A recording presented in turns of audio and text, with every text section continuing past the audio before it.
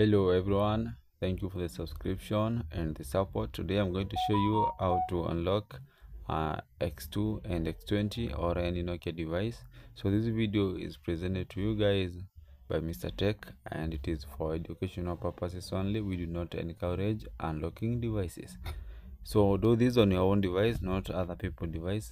So once you run this method you will see softlock will start misbehaving so for now the device is locked. Actually you cannot call and you cannot receive any call. Hotspot status has been disabled.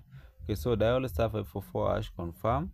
Once i try to call to tell me that only emergency calls are allowed. So i'm going to go to soft lock that is app information through the software that is in the notification i press and hold. So then it will take me to settings app manager for softlock because it is hidden in the normal apps. So once i'm there i'm going to find install and on apps.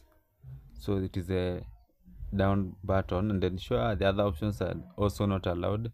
Turn on then turn off. Immediately you do that it will lock then unlock the device.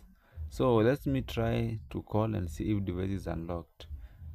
Can see okay the call actually has gone through no payment has occurred so guys thank you for watching.